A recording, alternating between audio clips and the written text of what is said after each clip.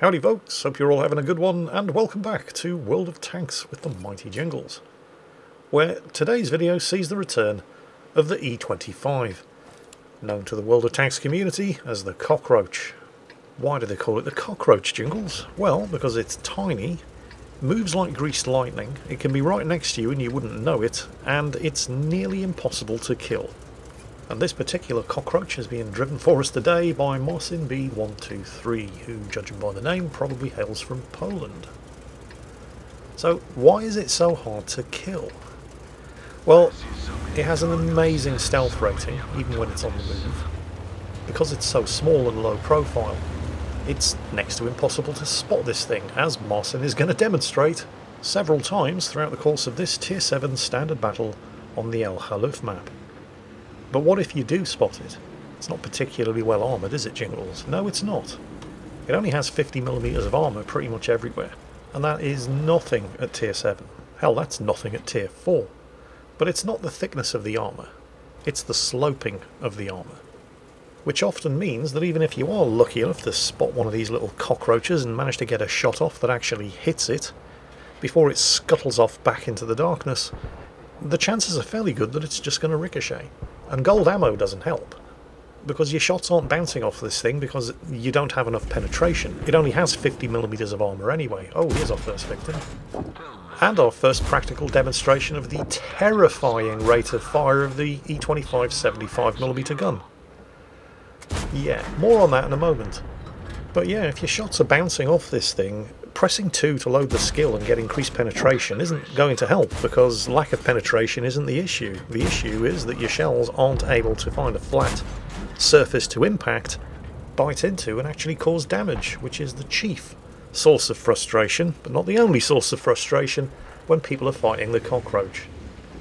Oh dear, look at the VK3001H. I really used to like that tank. It used to be a blisteringly quick tier 5 medium with terrible armour, but a good selection of guns. And now it's a slow-ass medium with terrible armour. It still has a decent selection of guns, but as you can see by the shot fired at the T-67 there, that kind of just casually sailed through the air and landed nowhere near it, he's using the worst possible gun, the 105mm howitzer, which was an okay gun back in the day, but since the high explosive nerf, it's just a waste of time. Particularly when you're trying to hit fast-moving targets like T-67s at ranges of 350 metres. Just no. But anyway, back to the E25. Did you notice the accuracy of the shot that hit the Su-85 and the rocks on the other side of the valley? Which, incidentally, has given Mars and his teams only two kills so far. It's not just the stealth. It's not just the frustratingly well sloped armour, it's the accuracy and shockingly fast rate of fire of this 75mm gun. It's kind of like the 75mm gun that you get on the Stug 4 at Tier 5, except on steroids. And we'll get back to the gun in a moment. In fact, we're going to get a practical demonstration of what this gun can do in not too long, as Marcin is demonstrating the mobility of the E25. He's been paying attention to the map, things up north are not looking too good, so he's uh, He's relocating to assist, and you can do that really quickly in the E25 because it has a top speed of 65 kilometers per hour and the kind of power to weight ratio that would embarrass a light tank 26 horsepower per ton.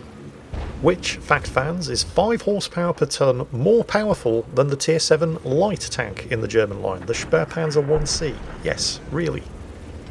And yes, he is sitting in the open, waiting to shoot at enemy tanks as they come over the ridge up there to the north. But, well, it doesn't matter, because the stealth on this thing is so good. He'll be able to shoot at them, and snipe at their weak spots, by the way, even at this range, while sitting in the open, and not be seen. But hey, if there's a handy bush nearby, you may as well use it. Note that he's so close to the bush that it's really only going to be a benefit for him until he shoots. But also note that it's not making the slightest bit of difference because he isn't spotted. Also, with that 3 second rate of fire, the first shot immobilised the 40 TP, the second shot immobilised him again after he used his repair kit, and now he's dead.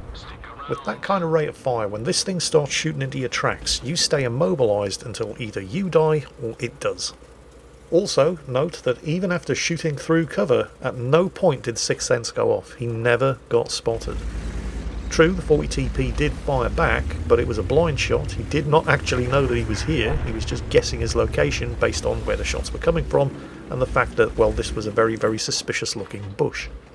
So you've got a tiny, low profile, stealthy as all hell tank destroyer that can do 65 kilometers per hour and has a better horsepower to weight ratio than most light tanks with a 75mm gun that fires every 3 seconds with a 1.5 second aiming time and 0.3 accuracy that may only have 150mm of penetration unless you press the 2 key and get 194mm of penetration but you rarely need to press the 2 key because even at ranges like that if you fail to hit the weak spot even at ranges like this you only have to wait 3 seconds to do it again.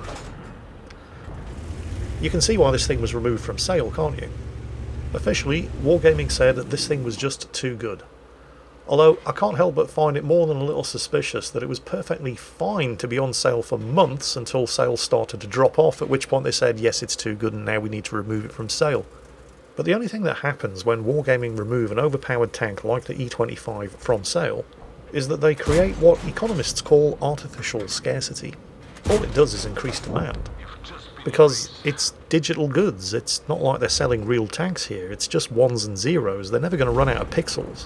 So I only really buy the we're removing it from sale because it's too good argument if they keep it out of the premium shop. Because when they put it back on sale, which they have done twice now, sales go through the roof. Because they're creating artificial scarcity. So, yeah, they know how good this tank is, they know exactly what they're doing. Oh, come on, Jingles, isn't it time you change this particular record? We've heard about these overpowered tanks before. Look at the Defender. Everybody said that was overpowered when it first came out, but nobody really cares about the Defender anymore, do they? Well, yeah, but it's not quite the same thing. But don't take my word for it, just wait until you see the battle results screen. How much fun do you think that IS is having? You'll note, of course, that Marcin still isn't spotted. Certainly not by the tanks in front of him, anyway. Oh, T-29's down. And sneaky enemy E-25 on the flank who also hasn't spotted him, although that was more down to luck than judgment and the arrangement of those bushes there. Actually managed to score a penetrating hit. I'm actually quite surprised. Fresh enemy tanks coming down the road up ahead. T-34-85M coming down the road up ahead. Attention fixed on the Jagdpanther and he does get him. That's the last thing he's going to get. There's no way he was even going to get the turret around, let alone get the shot off, before Marcin drilled another shot into him. There's now only three of them left against six. They're outnumbered two to one. But this isn't an issue. Taking a quick peek to see whether or not the enemy E25 is still lurking there, and also to see whether or not his sixth sense went off, and it didn't, so he knows that there's nobody with a view of that ridgeline. Easily spots the IS pushing down the road without getting spotted in return. Remember, the sixth sense doesn't go off immediately, there's a three second delay, but the IS didn't see him. Not that an IS has a particularly good view range in the first place. That one didn't go through. He's down to 12 rounds of armour-piercing ammunition. The M10 taking up cover behind the rock there.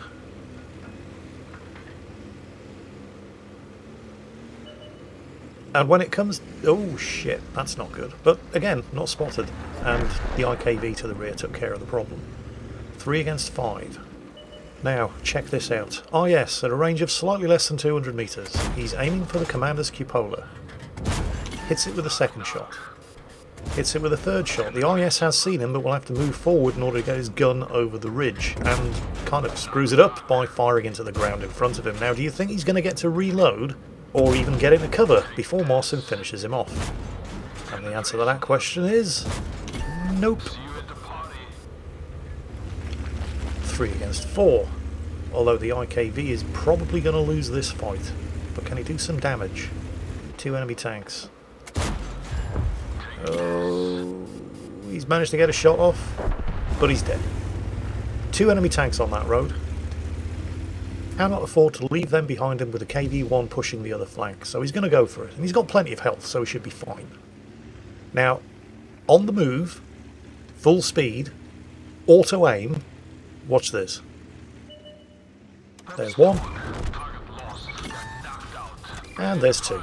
And there's the enemy T-150. Although, what in the hell is T-150 doing sniping from the ridge on the other side of the valley?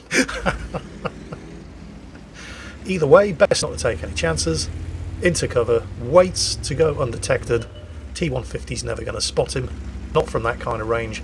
And now, full throttle, accelerating with this ridiculous 26 horsepower per ton power weight ratio in order to come to the aid of what is almost certainly an extremely nervous M10 who's trying to fight off that KV1 and is now very wisely playing a game of chasey chasey, catchy catchy, killy killy around the rock over there.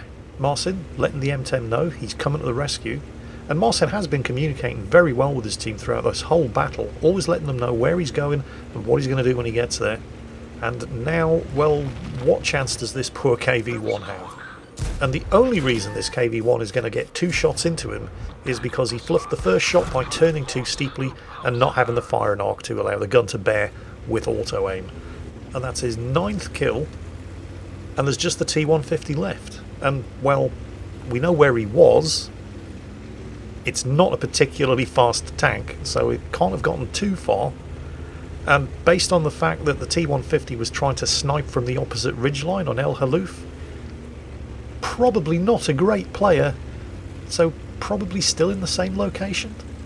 Although that location isn't actually too bad from a tactical perspective, given that he's now two against one. And they're going to be coming for the cap. So he is actually in a great position, if he can find some concealment, to defend the cap and potentially, because the T-150 is a tough tank with a, well he might have a 107mm gun which can do a fair amount of damage, he could two-shot Marcin and he can certainly one-shot the M10. It's all going to depend on whether or not that T150 has the 107mm gun, which can do 300 damage, and does have a kind of slow reload. It's like 9 seconds-ish.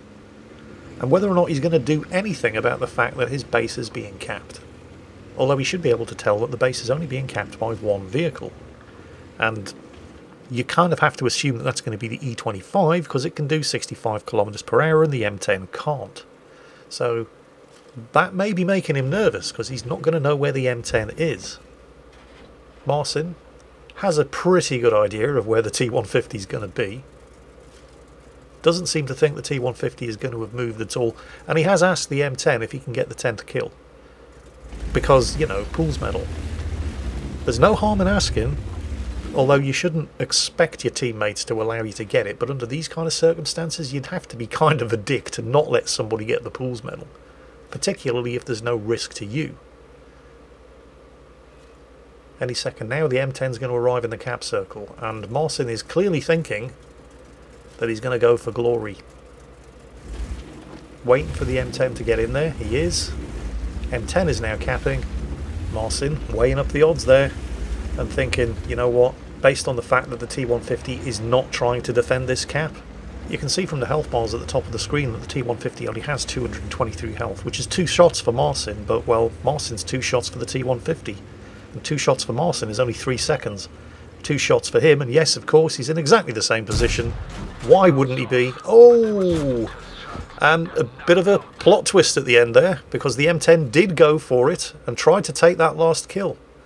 Fortunately, Marcin's first shot bounced, if not for that, the M10 would have gotten the final kill and Marcin would have been stuck on 9 and denied the Pool's medal, but well, the unlucky first bounce turned out to be good luck after all, and it's a 10th kill and a Pool's medal here on the El Haluf map for Marcin B123 in the E25, a clearly overpowered machine. And I'm not saying it's overpowered because Marcin got 10 kills.